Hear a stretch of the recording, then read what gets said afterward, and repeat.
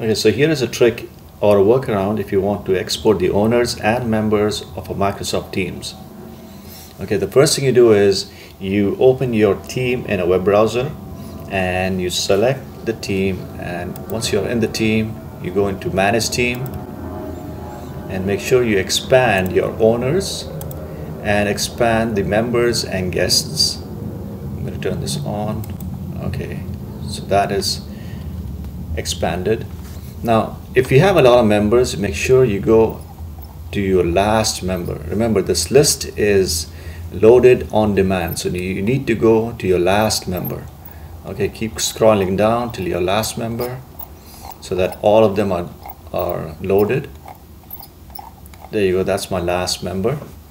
And after this you need to open the browser console and to do that you need to press control shift and I. There you go that's your console. If it does not show you usually it starts with welcome or somewhere else. Um, it does not display so what we can do is we're going to go to more tabs and we're going to select console. Okay once you're here okay you need to paste a script and I'll give you the link to the script. This is the script I'm going to say show me the raw format of this. I'm going to highlight the whole thing. And I'm going to say copy control C. Go back to your browser's other tab. Okay go to your console. Once you're here you're going to paste this. And all you need to now to do is just press enter. And it will execute and download the CSV file with all the members and owners there you go. Open this up and there you go. These are all your members and owners of course. Double click and there you go. Okay? Now if you do not have this problem I have this because I have Arabic. If you do not have this then you can save your file and what you can also do is just save it as an Excel file and you're good to go. Okay? You can just save it as an Excel file and you're good to go. I'm going to say save and there you go. In case you do have Arabic just like I have what you have to do is to fix this problem you need to go to data. Within data you need to re-import your file. I'm going to say from text and CSV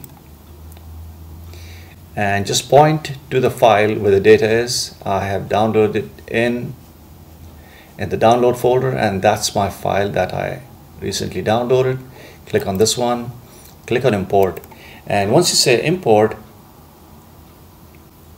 okay over here in the file origin what you need to do is you need to select 65001 Unicode UTF-8 this is for the Arabic Windows. Click on this one and you would notice that everything is displayed properly. And then I can say load. There you go. Okay? Now remember see um, it displays it properly. All the Arabic is being displayed properly. Now what you need to remember over here is it has downloaded this file or it has downloaded this data as a table okay? So if you click over here if you want your data to be a normal range what you need to do is just click on this one and click anywhere you want and go into table design and just say convert to range. When you once you say convert to range it will remove it um, from a table and make it as normal range of cells. So I'm going to click on this one. It will give me a message. This will permanently remove the query definition from the sheet and convert the table to a normal range. Continue. I'll just say yes. And there you go. Now this is a normal range. It's not a table. In case you do want it as a table, then you can leave it as it is. This is an extra step which you don't have to do. Okay that's it. I hope this was beneficial uh, thank you for watching this video